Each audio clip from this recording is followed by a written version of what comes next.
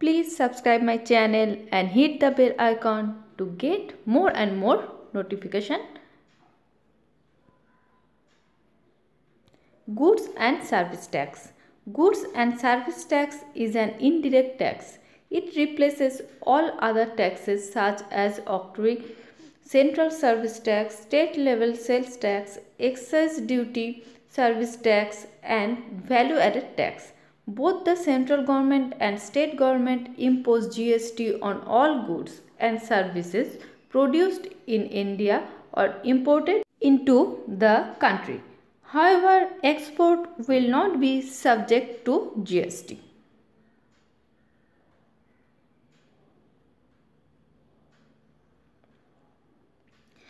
GST is collected on value added goods and services at each stage of sale or purchasing supply chains. The end consumer bears this tax as he is the last person in the supply chain.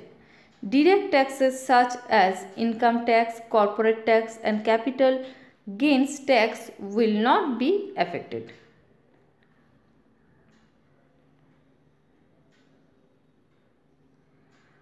Under GST, the taxation burden is divided between manufacturing and services. It is expected to help build a transparent and corruption free tax administration. The GST will be highly beneficial for India INC as the average tax burden on companies will fall. Reducing production cost will make exports more competitive. Thank you for watching my video.